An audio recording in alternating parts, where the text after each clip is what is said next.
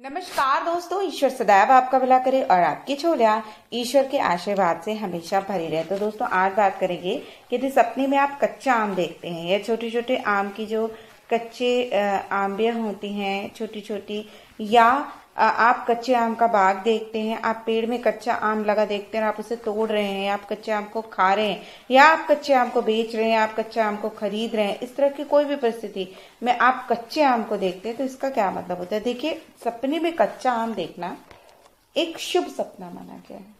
लेकिन व्यक्ति विशेष के अनुसार अलग अलग इसकी मीनिंग होती है। अक्सर आम का जो सपना होता है, वो धन प्राप्ति की ओर संकेत करता है या लाभ प्राप्ति की की ओर संकेत करता है या आपकी ज़िंदगी में कोई तरक्की या उन्नति जैसी घटना हो सकती है। कभी कभी वो लोग जो निसंतान हैं या जो गर्भवती हैं, उन लोगों को एक अच्छी संतान, स्वस्थ संतान की प्राप्ति की ओर भी संकेत करता है। और यदि आप संतानवान हैं तो कभी कभी आपके रिश्तेदार में या आस पड़ोस से भी कोई ऐसी खुशखबरी आपको मिल सकती है, जिसमें कोई संतान उत्पत्ति का, की सूचना आपको सुनाई दे सकती है आगे आने वाले समय में।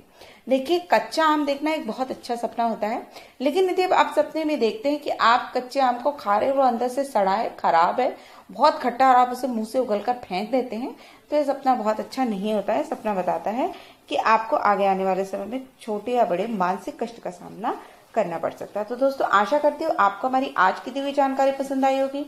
ऐसी ही रोचक जानकारी के लिए कृपया आप हमारे चैनल को लाइक, सब्सक्राइब और शेयर अवश्य करें। तब तक के लिए दोस्तों, नमस्कार।